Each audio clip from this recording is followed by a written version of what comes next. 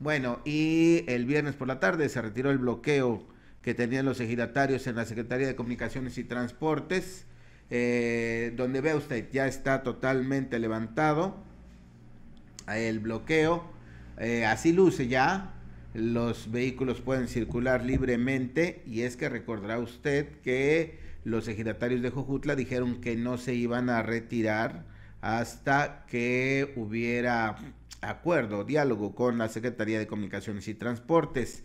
Eh, pues resulta que el viernes hubo un acercamiento, les propusieron una reunión este martes, mañana a las 10 de la mañana en las oficinas de la Secretaría allá en Cuernavaca.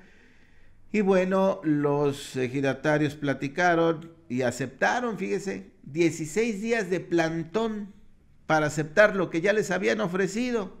Ya les habían dicho, pues venga, venga, espérense después de vacaciones, se vienen, aquí platicamos. Dijeron, no, ahorita, ahorita queremos solución. Pues espérense tantito, no, no, no, de una vez vamos a bloquear. 16 días después dijeron, bueno, está bien, pues nos vemos el martes. ¿Qué le parece? Pues ahí está el tema. Así es que mañana vamos a ver qué acuerdos toman. Dicen los ejidatarios que si no satisface, volverían a bloquear este camino.